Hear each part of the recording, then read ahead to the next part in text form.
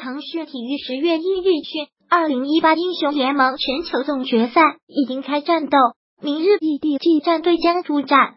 赛前俱乐部官博放出了长文，为队伍打 call，水五虎落平阳日，待我风云再起时，厂长会在明天的比赛中登场吗？原文如下：命运对勇士低语，你无法抵御风暴。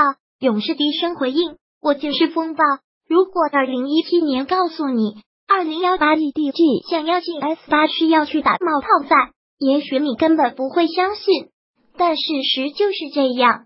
二零一八年九月二十三日星期日，十天前刚刚庆祝过 EDG 五周岁的生日，转眼我们就在机场。英雄联盟分部的几个小伙子们走过安检，接受海关检查，坐上了去韩国首尔的飞机。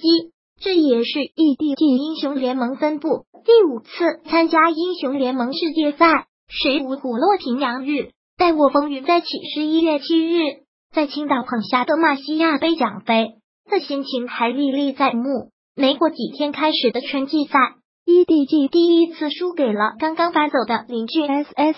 春节后立刻被 RW 两局零封，一时间舆论哗然。在春季赛后半段。队伍的表现有所进步，春季赛亚军似乎也是一个可以接受的成绩，但紧随其后的夏季赛宛若一场噩梦。虽然洲际赛表现还算稳定，与当时 LCK 夏季赛第一的 AFS 打成了一到一的局面，但七月末令所有人担心的局面再次出现了，整个队伍再次陷入了一种完全不知道怎么赢的怪圈。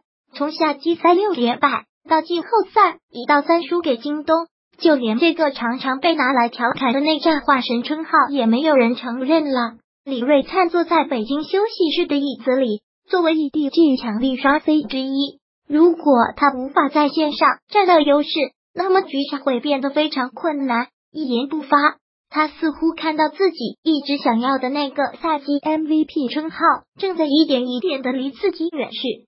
他们说，EDG 对于世界赛的的冲击也随着这场比赛的结束而越发无力，甚至没有人相信我们会赢。从季后赛惨遭淘汰到前往南京之前的一周内，无论外界舆论如何发酵，在送队员们从基地启程的一刻，站在门口其他分部的一位队员看着开走的汽车说：“他们肯定可以的，毕竟我们是 EDG。”而当南京 Hero 选手盲僧踢出那一脚之后，网络上终于有一年没有 EDG 的 S 赛的声音。被 EDG 也许会迟到，但从不缺席所取代。要知道，我们可是 EDG 呀！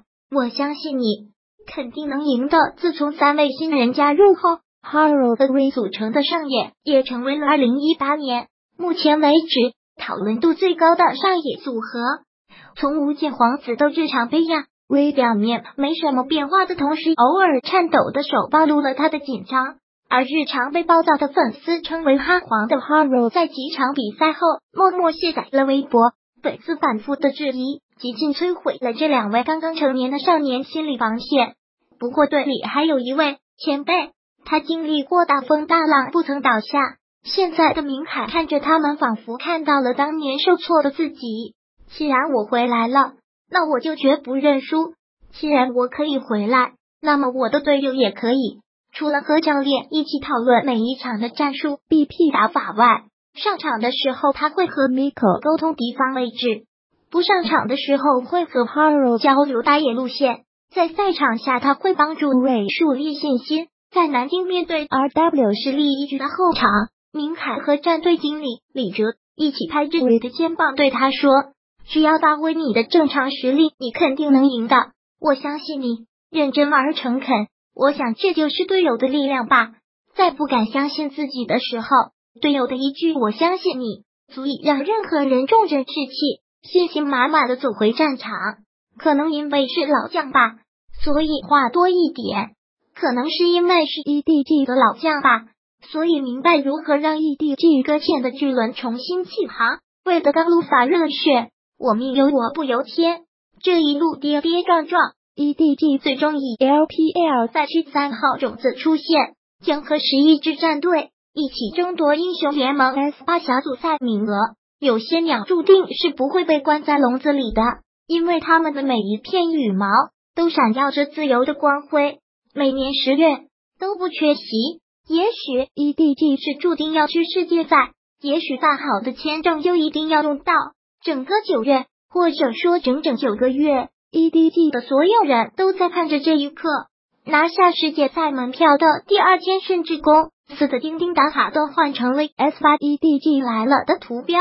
在连续训练了五天之后，队员们在经理和领队的带领下一起出门吃了一顿韩式烧烤。这顿饭之后，也是时候放手一搏了。